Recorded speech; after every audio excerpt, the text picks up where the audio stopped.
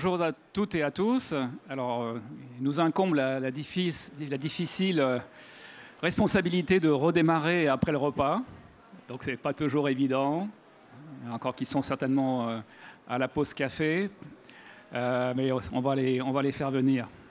Donc, aujourd'hui, on, voulait vous parler d'un programme développé par Orange qui s'appelle le programme Orange 5G Lab et euh, vous présenter euh, à travers euh, Patrick Delinger qui est ici présent avec moi un exemple, un cas d'usage que nous avons réalisé en co-innovation entre le Orange 5G Lab et un fabricant de robots qui a souhaité profiter de tous les atouts apportés par la 5G. Donc, je vais commencer par vous présenter ce programme Orange 5G Lab.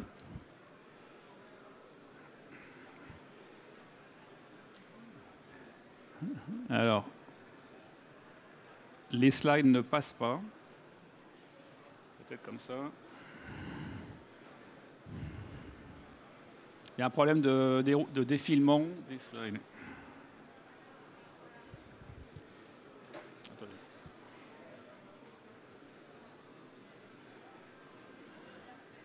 Ah, c'est bon, c'est bon, c'est bon, c'est bon. Donc 64%. Donc 64%, c'est le pourcentage des, entreprises en France que nous avons interrogées et qui nous ont dit la 5G va me permettre d'améliorer mes offres existantes et va me permettre de développer de nouvelles opportunités de business. Et parmi ces entreprises, 72% d'entre elles nous ont déclaré attendre un soutien de leur opérateur téléphonique pour intégrer la 5G dans leur proposition de valeur et dans leur offre de produits et services. Et cela explique la, raison de, la création, hein, du, développement de ce programme très spécifique autour de la 5G par Orange, euh, qui est un programme destiné donc à, tous les acteurs économiques qui souhaitent découvrir tout le potentiel de la 5G et bénéficier de ses atouts. Trois objectifs principaux. Le premier, un objectif de découverte, Deuxième objectif, permettre aux entreprises de se préparer à l'arrivée de la 5G sur leurs produits et services existants. Troisième objectif, co-innover, inventer les nouveaux usages permis par l'arrivée de cette nouvelle technologie.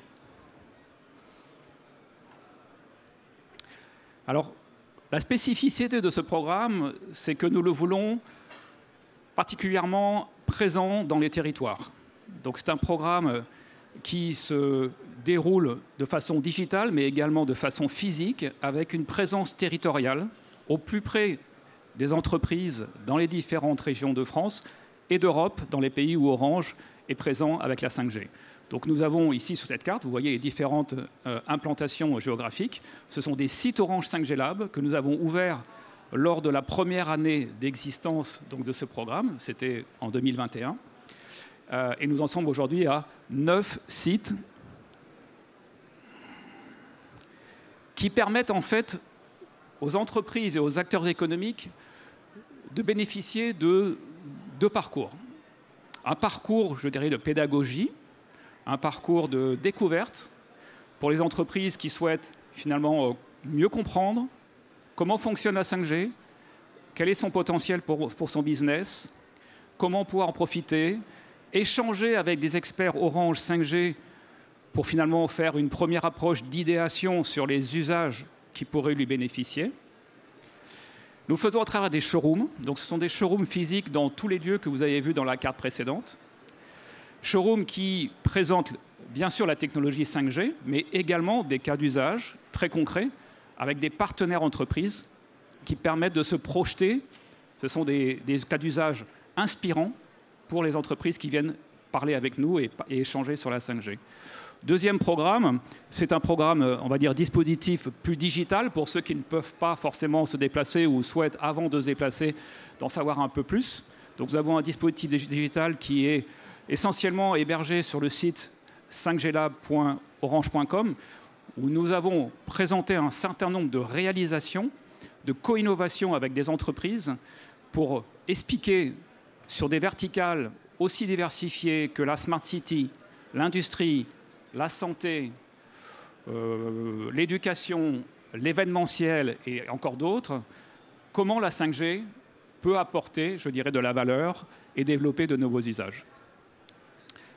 Et nous avons également un deuxième parcours pour, je dirais, les entreprises un petit peu plus matures, euh, qui ont déjà une idée assez précise de ce qu'elles souhaitent faire de la 5G, mais qui souhaitent être accompagnées dans, finalement, l'intégration de la 5G dans des produits et services existants ou dans un projet en mode prototypage qu'ils vont terminer chez nous, qui vont pouvoir amener jusqu'au POC final avec nos experts 5G. C'est d'ailleurs ce qu'on a fait avec l'entreprise YK Robotics, dont, euh, dont Patrick vous parlera tout à l'heure.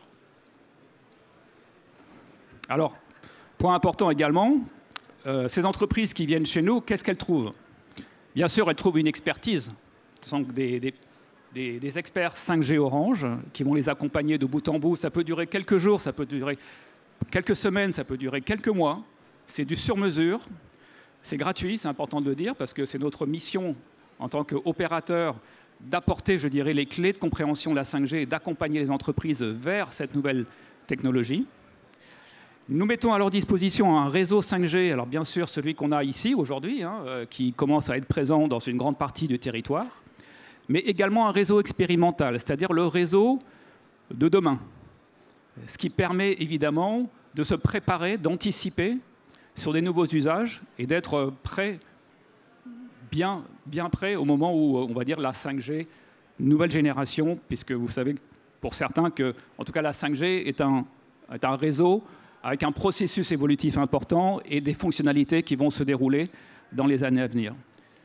Et puis nous, avons également à leur disposition un certain nombre de terminaux 5G. Donc là, ce sont des terminaux de tout. Alors évidemment, des, smartphones, bien entendu, mais pas que, des PC 5G, des, des tablettes 5G, mais aussi, dans ce lieu, ça paraît extrêmement utile d'en parler, des lunettes de réalité augmentée, 5G, des casques de réalité virtuelle 5G, etc.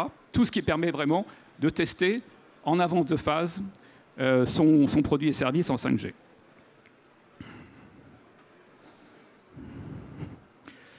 Alors ça fait aujourd'hui, en fait, euh, comme je le disais, un, an, même un peu plus d'un an, c'était en février l'année dernière que nous avons inauguré notre premier site Orange 5G Lab et que nous avons donc lancé ce programme. Aujourd'hui, donc, nous en avons ouvert neuf en France.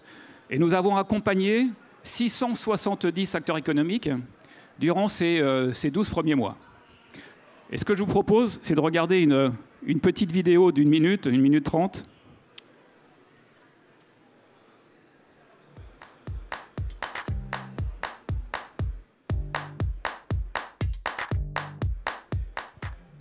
Assis dans un stade, vous pouviez regarder des données de performance des joueurs depuis votre smartphone en réalité augmentée et en temps réel. Ou réaliser des actes de télémédecine avec un médecin à distance qui analyse et communique les informations en temps réel avec le patient. Et pourquoi pas dépolluer les plans d'eau? Avec la 5G, on peut piloter une flotte de robots depuis un smartphone à distance ou bien encore réaliser facilement la captation et le streaming en direct de séances de formation. Vous pensez que c'est pour demain? C'est aujourd'hui possible et cela grâce à la 5G. Toutes ces entreprises sont passées par un Orange 5G Lab. En un an, Orange a inauguré 7 espaces Orange 5G Lab en France, un en Belgique et un en Roumanie.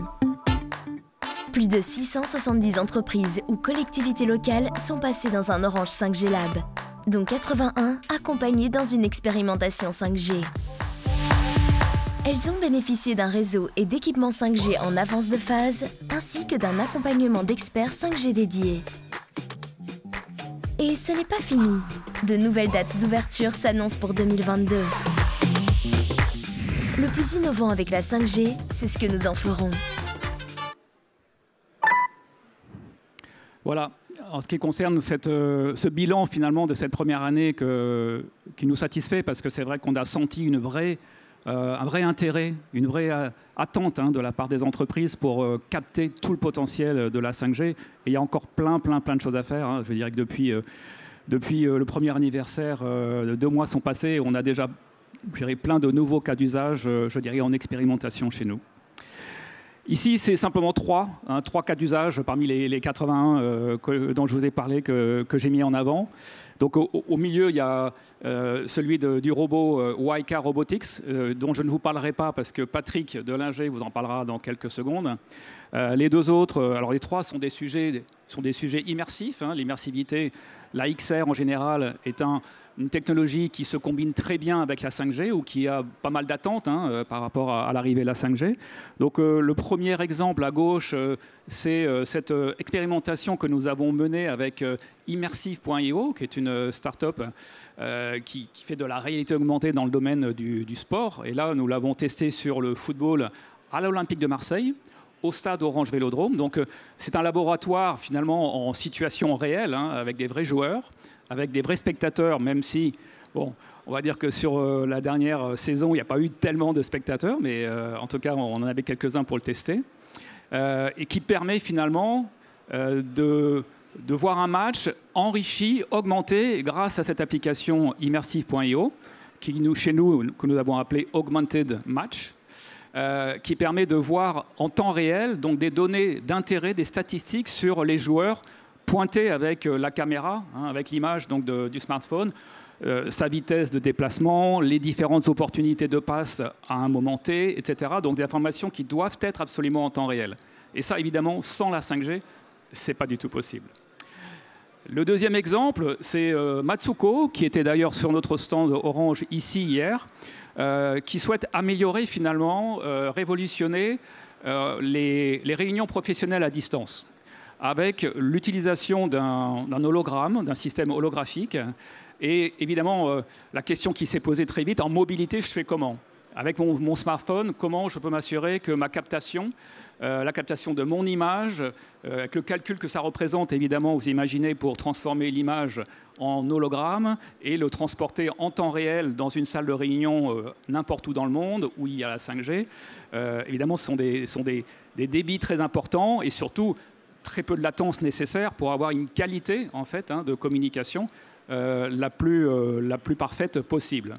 Donc nous avons collaboré avec cette entreprise euh, en leur prêtant, je dirais, le matériel, en testant, je dirais, sur nos réseaux expérimentaux la 5G et les apports que la 5G leur permet, les apports de la 5G pour finalement l'expérience utilisateur de Matsuko.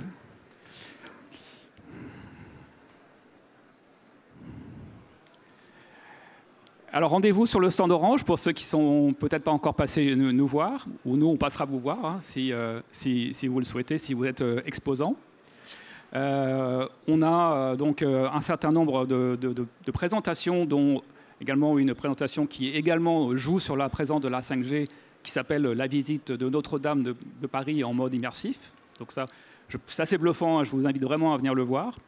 Et pour nous contacter, si vous voulez plus loin, Hein, euh, simplement savoir s'il euh, y a possibilité de, venir découvrir la 5G, s'il y a intérêt de collaborer et pourquoi pas de co-innover, de prototyper avec vous, eh bien, on vous invite à nous contacter, donc soit sur le site web 5glab.orange.com, soit l'adresse mail hein, contact.5glab.orange.com. Voilà.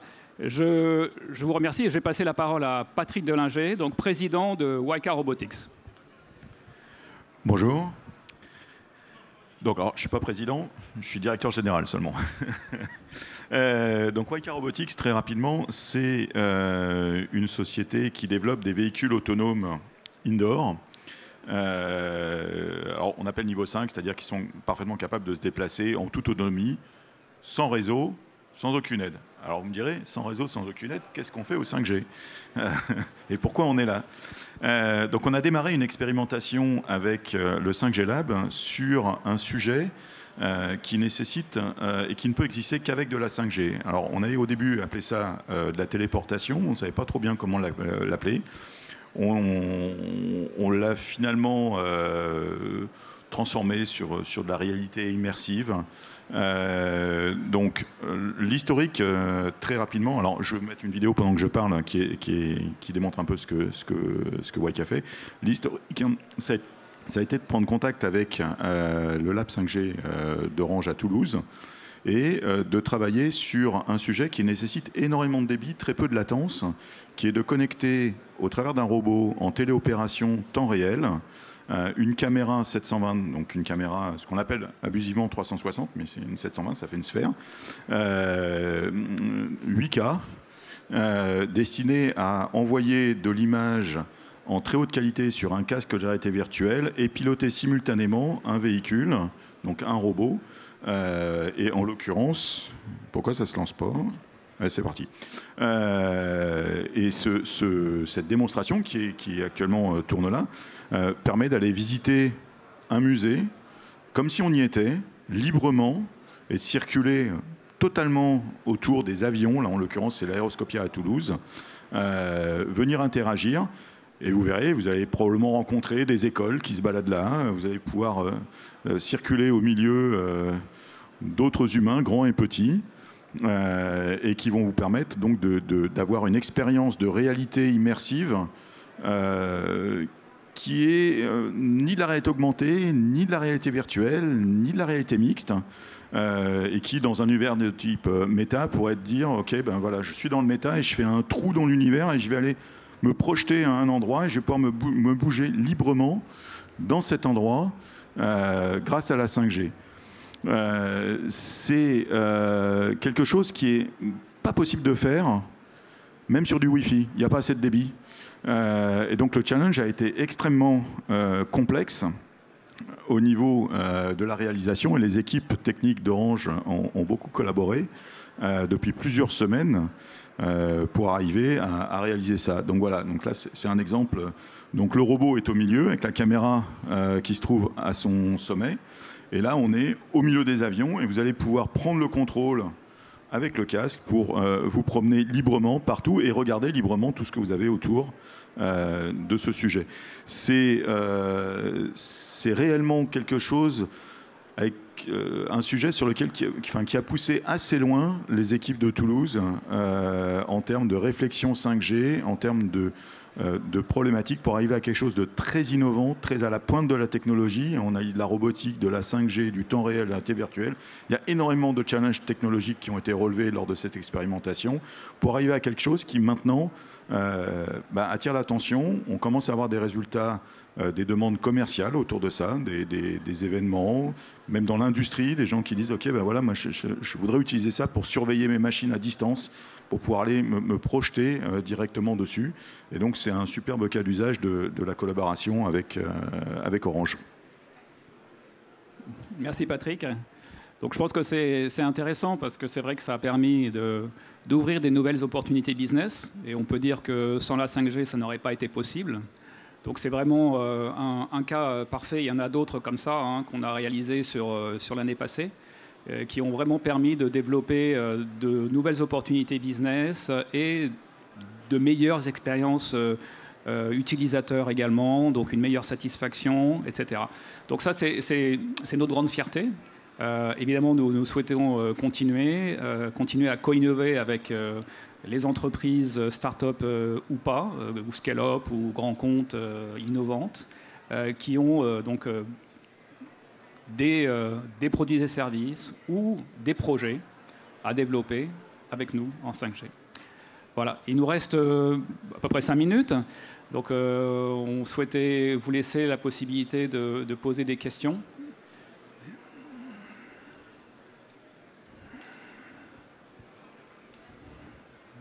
Toujours le premier qui est le plus difficile à se lancer en fait.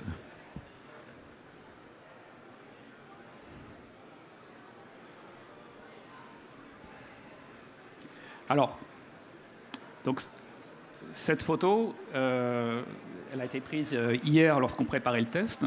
Et donc, euh, l'expérimentation est en cours en ce moment. Donc, aujourd'hui, là, maintenant, toute la journée, il y a donc ce robot qui se promène donc, dans le musée Aeroscapia. Et nous sommes donc à travers un casque de réalité virtuelle, donc en connexion euh, en live, hein, en, temps réel, avec ce robot. Et vous pourrez, si vous venez donc sur le stand Orange, euh, diriger ce robot comme si vous étiez finalement debout sur le robot et le diriger vers n'importe quelle partie du musée, aller découvrir le Concorde, euh, enfin toutes les merveilles qu'il y a dans ce, dans ce musée. Donc je vous invite vraiment à, à, venir nous, voir et, tester cette expérimentation et d'autres que nous avons à côté également. On a même mis une petite cage autour pour, vous aider à pas tomber. Virtuellement, pas tomber. Virtuellement, bon, ça vous permet de vous fixer virtuellement, pas, pas avoir le mal de mer. Euh, ce qui est intéressant au travers de cette expérimentation 5G, c'est que ça a permis aussi d'ouvrir un certain nombre d'autres euh, cas d'usage en logistique pour pouvoir avoir des réseaux à haute fréquence, pour aller faire des inventaires de palettes, par exemple, dans des très très grands centres logistiques sur lesquels on va envoyer en temps réel euh, des centaines de milliers de photos en 48 mégapixels. Euh, donc on est sur des, gigaoctets euh, à transmettre. C'est extrêmement compliqué euh, dans, des, dans, des, environnements très radio enfin très étanches à la radio. C'est que l'environnement métallique. C'est aussi le cas en termes d'industrie pour aller gérer des flottes en fait qui vont venir se connecter directement aux ERP en temps réel, récupérer un ensemble de données euh, dessus. Le fait de mettre une cellule dans euh, une ou deux cellules inter-indoor de 5G va permettre de couvrir l'ensemble de l'usine, alors que sinon on aurait besoin d'avoir un mesh euh, très dense de réseau Wi-Fi pour avoir un débit suffisant quand on a besoin d'avoir de missions comme piloter un bras robotique à distance ou des choses comme ça, qui sont des usages qui vont venir de plus en plus améliorer euh, la vie de tous les jours euh, au niveau des, usages et optimiser les, productions. Euh, vous avez vu tout à l'heure passer le robot dans un décathlon. dans un décathlon, c'est un magasin, c'est une grande surface. Cette grande surface, elle est extrêmement compliquée en termes de, topologie radio. actuellement, c'est couvert par tout un ensemble de cellules Wi-Fi et tout le magasin n'est pas couvert par ces cellules Wi-Fi qui sont assez denses. Le fait d'amener de la 5G à cet endroit-là va nous permettre de résoudre un certain nombre de ces problèmes et d'avoir quelque chose qui est beaucoup plus efficace euh, en termes de garantie de couverture pour l'exploitation, même si, comme je vous ai dit, le véhicule en lui-même est complètement sécurisé, il ne dépend pas de la radio, hein, c'est vraiment un véhicule au niveau 5. L'application qui va tourner au-dessus, elle, elle peut avoir besoin euh, de la radio, elle peut avoir aussi besoin de tout un ensemble de cybersécurité que la 5G peut offrir. Contrairement à du Wi-Fi qui peut être hacké, la 5G, c'est extrêmement difficile de venir hacker. C'est possible, bien sûr, mais ça demande de gros moyens euh, qui sont souvent complètement disproportionnés par rapport à ce qu'on va aller chercher comme, euh, comme données au niveau du hacking. Voilà, il nous reste euh, une minute. J'ai peut-être réussi à lever une question ou deux, non? Même pas? Bon, vous êtes tous excellent euh, au niveau euh, de la réalité virtuelle, euh, j'en doute pas, sur un salon de ce type. Merci beaucoup pour votre attention. Merci beaucoup à vous.